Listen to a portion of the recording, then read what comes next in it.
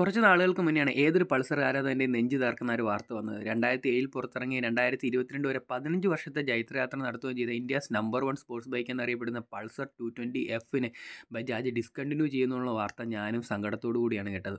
അത് വേറൊന്നിനും വേണ്ടിയല്ലായിരുന്നു. പൾസറിന്റെ ഏറ്റവും പുതിയ മോഡലായ എഫ് ടു ഫിഫ്റ്റീനെ ലോഞ്ച് ചെയ്യാൻ വേണ്ടിയായിരുന്നു. ഫിഫ്റ്റിക്ക് കാര്യമായ സെയിലൊന്നും നേടാൻ സാധിച്ചില്ല. എഫ് ടു ഫിഫ്റ്റിക്ക് ടു ട്വന്റിയേക്കാളും കുറച്ച് ഫീച്ചറുകളും കാര്യങ്ങളൊക്കെ ഉണ്ടെങ്കിൽ പോലും എഫ് ടു ഫിഫ്റ്റി മാർക്കറ്റിൽ ഒരു പരാജയം തന്നെയാണ് സെയിലിന്റെ കാര്യത്തിൽ. അപ്പോൾ ബജാജ് ചെയ്ത ആന മണ്ഡലം ബജാജ് തിരിച്ചറിയുകയും ലെജൻഡറി ബൈക്കായി ഇത്രയധികം ഫാൻ ബേസ് ഉള്ള ഒരു വണ്ടിയെ തിരിച്ചു വിളിച്ചത് മണ്ടത്തരമാണെന്ന് ബജാജിന് സ്വയം മനസ്സിലാവുകയും ചെയ്തുകൊണ്ടാണ് ബജാജ് വീണ്ടും പൾസർ ടു ട്വന്റീനെ നിരത്തിലോട്ട് ഇറക്കാൻ പോകുന്നത്. ഈ തവണത്തെ തിരിച്ചുവരൽ പ്രകടമായ മാറ്റങ്ങളൊന്നുമില്ല. അതേ ലുക്കിൽ തന്നെയാണ് ഓൾറെഡി ബി എസ് സിക്സ് എഞ്ചിനോട് കൂടിയ പൾസർ ടു ട്വന്റി ഉള്ളതുകൊണ്ട് തന്നെ.